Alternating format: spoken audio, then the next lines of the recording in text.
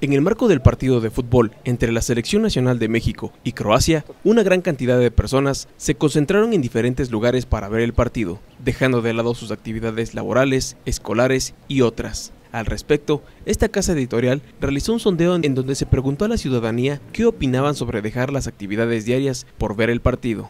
Así las respuestas fueron de apoyo para la selección mexicana, ya que aseguraron que es importante mostrar la pasión por México, además de que este tipo de contiendas hermanan a los ciudadanos. Pues la verdad es que yo estoy a favor de eso, yo soy como súper pambolera, entonces sí dejo mis ocupaciones para, para ver el fútbol. Entonces, si te gusta el fútbol y es una actividad que une a todo el pueblo, ¿por qué no estar unas par de horas viendo el fútbol? Yo creo que es mejor dar tiempo a que puedan ver el fútbol la gente y ya después regresan al trabajo con más ánimo a que si los tienes restringidos y lo van a ver por internet a escondidas. El momento en el que juega México es una forma en la que pues el Estado como con las personas se sienten un poquito arriba. Con imágenes de Marco Galán e información de Elsie Méndez, Síntesis Televisión.